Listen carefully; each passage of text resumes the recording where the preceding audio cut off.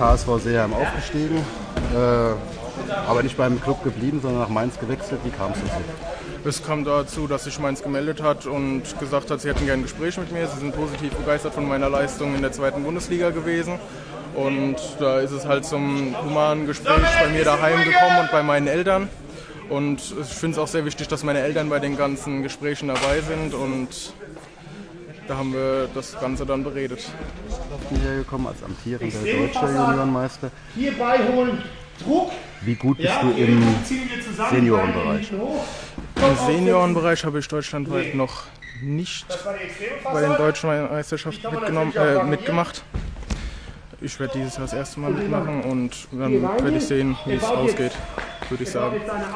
Was ist so Perspektive bei dem Seniorenbereich? Was glaubst du, wo könntest du dich da einordnen? Also ich würde sagen, dass für mich ein Ziel ist, Medaille zu machen auf den Männerdeutschen Meisterschaften. Aber wo sind deine Stärken?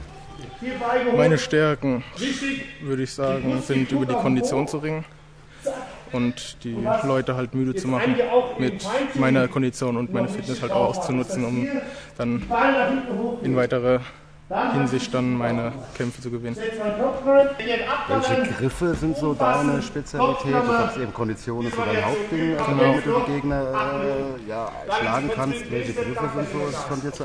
Hauptsächlich über eine Seite aufziehen und daraus folgende Techniken wie eine Seite ans Bein und dann Doppelbein oder ähnliche Sachen. Ja.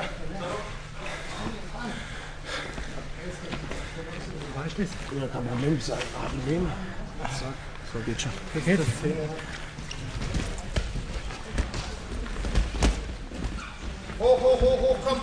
Er ist sehr fleißig, er trainiert gut, er ist der kommende Mann im äh, ja, DRB, im Deutschen Ringerbund und deshalb freuen wir uns sehr, dass wir es geschafft haben, so ein hoffnungsvolles Talent, deutsches Talent, ähm, zu uns nach Mainz äh, zu holen.